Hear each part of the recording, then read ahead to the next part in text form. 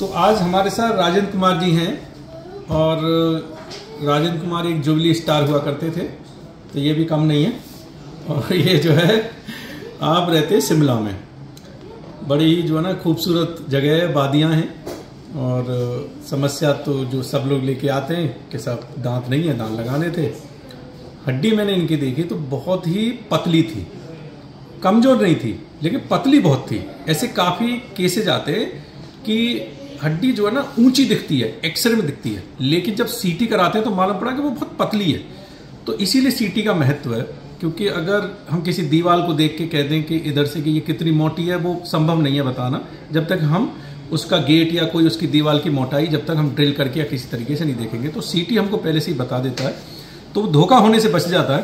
तो उसके हिसाब से हम प्लानिंग कर पाते हैं। तो आपकी हमने प्लानिंग की। एक्स्ट्रा इम्प्लान लगाए, उसके चक्कर में, क्योंकि पतली है तो फिर ज़्यादा लगाने, लंबे लगाने। और जो भी दस बारह पंद्रह दिन का जो समय आपका लगा होगा और आपके दांत लगा दिए।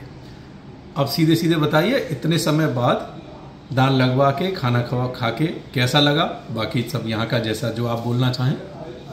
जी, अब तो मुझे बहुत अच्छा लग रहा है। पहले से इतने सालों से मतलब दांत के बगैर दाढ़ नहीं थी, खाना खाने में बहुत दिक्कत आ रही थी।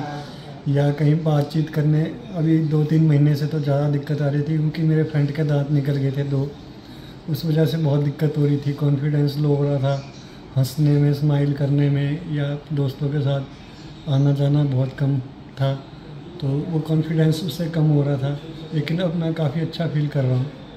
मैंने सर की वीडियो देखी, काफ़ी छः महीनों से लगभग मैं इनको फॉलो कर रहा था और फिर व्हाट्सएप पे इनसे काफ़ी मेरी बातचीत हुई।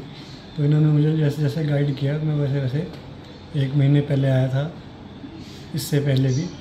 लेकिन इस बार थोड़ा टाइम की वजह से एक महीने बाद दोबारा हाँ, आया। ये आए थे बीच में तो पहले में पूरी प्लानिंग हाँ, बताई मुझे। तो एक ही होता है कि कितना टाइम लगना टाइम है लगना कितना है, खर्चा आना है खर्चा तो वो सब चीज़ें समझ के फिर ये गए और फिर से टाइम लेकर के आए। दोबारा लेकर आए तो और फिर अब चौदह चौदह क्या तेरह बारह तेरह दिन में हो गया लगभग।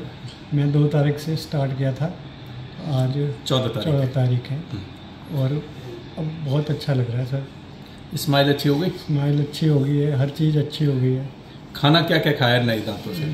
खाना देखो कल सैलड खाया था। और चने आपने बोला था चने खाने हैं। हाँ। मैं अभी चने भी खा के आया हूँ कचौरी वगैरह। शाम को मैंने पूरा खाना खाया सब्ज़ी चपाती सैलड डट के खाया। कोई दिक्कत नहीं है। चबाने में कोई ऐसा हुआ कि दर्द हो रहा है चबाने में? नहीं, कोई दर्द नहीं। पूरा लोड ले रहा है ना इम्प्लांट बिल्कुल सर। चलिए। लग ही नहीं रहा। एक तो बहुत सालों बाद खाया हाँ। थी तो उसमें आदत नहीं रही है लेकिन ये तो लगता है कि ठीक है।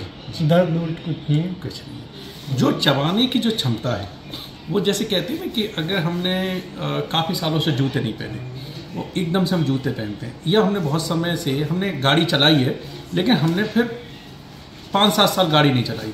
और फिर एकदम से गाड़ी हमारे हाथ में पकड़ा दी जाती है थोड़ी लहराती है इधर भागती है उधर भागती है। इसी तरीके से जबड़े का जो अलाइनमेंट है वो बिगड़ जाता है। जब हमारे दांत पीछे के नहीं रहते तो हम आगे से चबाने लग जाते हैं इधर के नहीं है तो इधर से चबाने लग जाते हैं। तो जबड़े का अलाइनमेंट बिगड़ जाता है। जब भी हम दांत लगाते हैं तो जबड़े का अलाइनमेंट धीरे धीरे धीरे धीरे अपने सेंटर में आता है। तो थोड़ा समय लगता है लेकिन चबाने में दर्द नहीं होना चाहिए। तो हम कहते हैं खाना शुरू करिए। जैसे खाना शुरू करेंगे दाल रोटी सब्ज़ी चपाती।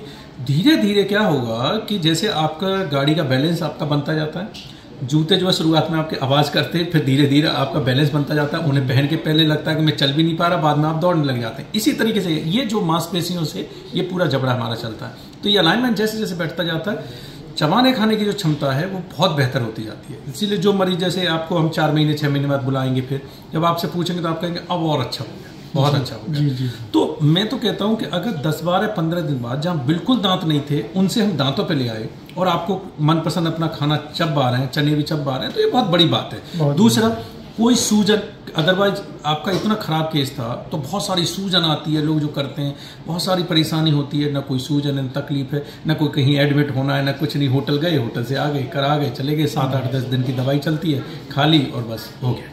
खाओ चबाओ अपना। मसूड़ों की हीलिंग वगैरह वो धीरे धीरे अपने नीचे होती रहती है क्योंकि ये फिक्स तकनीक है। मसूड़ों पे तो इसका कुछ लोड होता नहीं है। सीधा इम्प्लांट हड्डी पे लोड होता है। आराम से खूब चाय वाइए खाइए कोई दिक्कत नहीं है। स्माइल वगैरह अच्छी हो गई? जी ठीक है। घर में भेजा? फ़ोटो वोटो? खींच अभी- के? अभी तो नहीं भेजा। सरप्राइज़ देने वाले हैं घर जाकर? सरप्राइज़ चलिए। और चेहरा जो है ना क्या है ना कि जब दान लग जाते हैं ना तो आप खुद फील करेंगे कि ऐसा लगता है कि हम थोड़ा यंग हो गए। क्योंकि इससे क्या होता है सिर्फ़ चबाने का जुगाड़ नहीं होता। इससे क्या है ना पीछे से मांसपेशियाँ उनमें खिंचाव आ जाता है। खिंचाव आ जाता है तो आपको थोड़ा सा यू लुक यंगर है ना? नहीं तो क्या होता है कि वो गाल पिचकने लग जाते हैं तो थोड़ा झुर्रियाँ सी थोड़ा पिचका मुँह तो ऐसा लगता है कि एज हमारी जो जितनी नहीं है उससे ज़्यादा दिख रही है। ठीक है? तो ये है।